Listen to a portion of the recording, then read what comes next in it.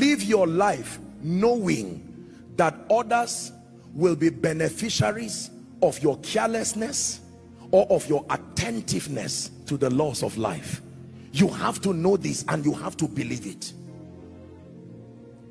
There are many of us right now except God intervenes the way we are living our lives our children are already in trouble. We don't have to talk about demons. You have already programmed it.